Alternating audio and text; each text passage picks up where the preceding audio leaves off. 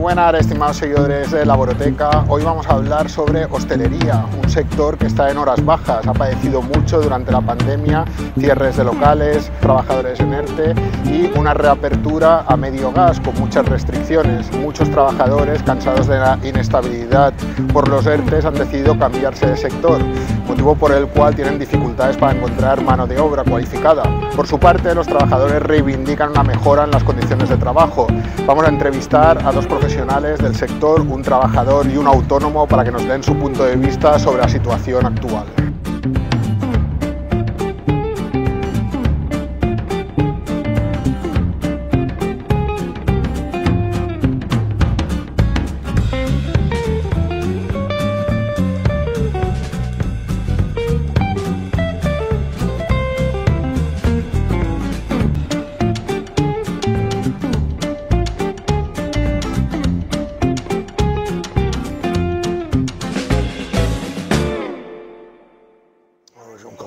Cocineros cobran más que los camareros. Los camareros, por mucho que diga todo el mundo, están en torno a 950 1000 euros. 1200, 1300 es si llevas ya 4, 5, 6 años trabajando. De momento, como estamos la señora y yo, es un negocio familiar, pues sí, está dando para, para tirar y para sobrevivir un poco. Los buenos restaurantes es donde se cobra 1.200, 1.300. Cualquier restaurante, cualquier bar, cafetería, en torno a los 1.000 euros. No, no, al contrario, nunca, jamás, jamás, jamás de los jamases. Eso sí que es en ningún sitio. Cotizas la mitad o mucho menos. Siempre con promesas de te voy a dar y luego al final nunca te dan nada. Dos personas, ¿no? Queriendo, poniendo un poquito de gana y ilusión, el negocio da para, para vivir. Hay que atender bien al cliente, hay que estar con el cliente. Hay mucho que destacar, son, yo creo que son las peores condiciones laborales de cualquier, de cualquier trabajo. Se trabaja festivo, se trabaja por la noche, no te pagan festivos, no te pagan nocturnos, pero en ningún sitio trabajas horas de más. Yo creo que es el, peor sector de, del mundo. Ah, el más bonito también, ¿eh? Cuando tú estás como propietario, ¿no? Y tienes que trabajar todos los días, la gente, pues, eh, cuando llega sábado y domingo, quisiera tener fiesta.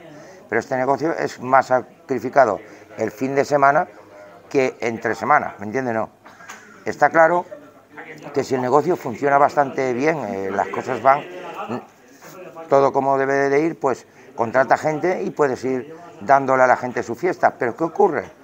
Que en el sector hostelero, cuando más falta hace, es el fin de semana. Y eso es lo que hoy por hoy la juventud no está afectando un poco.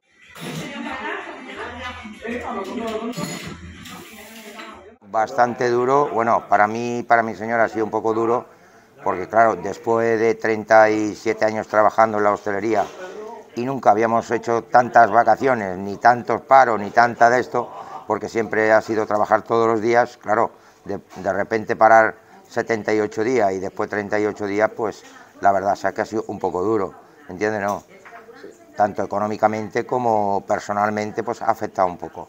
Yo creo que han sido un poquito cortas, porque claro, viendo lo que nosotros trabajamos, las horas, lo de esto que estamos dedicados al, a las personas y a nuestro negocio, creo que han sido un poquito insuficientes, ¿entiendes? No? Se tenía que haber valorado un poquito más. Bien, bien, yo en general las, tengo muy bien. Está siempre el típico, la típica, pero es menos y callar.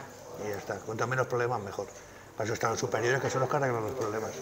Bueno, siempre pensamos que a lo mejor en algún momento te enfada o en algún momento pueden haber algún cliente que te pida una cosa que tú esto y a lo mejor hay un momento o a veces te vienen clientes que, pues la verdad sea, no te son agradables porque te hacen algo que no y ahí es donde... ha afectado una barbaridad, ¿me entiendes? No, esto es un poquito insoportable. Yo, claro, mirándome que yo, y estamos yo y mi señora, a mí me gustaría pues contratar a personas, pero si todo va subiendo, si todo va generando esta, de esto que hay, pues la verdad es que da poco fruto para que generar poco trabajo, puesto de trabajo, porque al cliente no se le puede estar continuamente hoy te subo 10 céntimos, mañana te subo 5, mañana te subo 15, ¿entiendes? No? Porque la luz ha subido una barbaridad. Relación con los clientes, los clientes hace amigos, los compañeros sobre todo, porque como para decir, sufre lo mismo que tú, pues te apoyas en ellos y, la relación conoces oh, de todo tipo de, de personas, buenas y malas. Lo mejor es la ilusión. En este negocio, como creo que es en todos los trabajos, ya no en el negocio, en todos los trabajos, en este negocio lo que hay que tener es ilusión.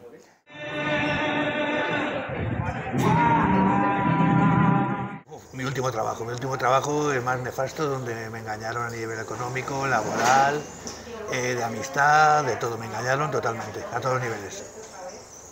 Yo no le veo peor, bueno, a lo mejor algunos pensarán, es por las horas que te tira, pero bueno, eso lo puedo decir yo, que tengo ya casi 62 años y llevo 37, ya necesito estar más con mi familia, que es verdad que pierdes un poquito de, pierdes, no lo pierdes, lo llevas de otra manera, a lo mejor no lo mismo que la persona que trabaja de lunes a viernes y tiene su sábado y domingo para, los hijos. Sí, sí me cambiaría, me cambiaría porque es muy sacrificado esto, pues tipo almacén, tipo fábrica, pasar de la noche al día, del diálogo constante, de dígame y tal, le gusta, pues, tal, no hablar palabras. Una máquina, por ejemplo, pla, pla, pla, pla, pla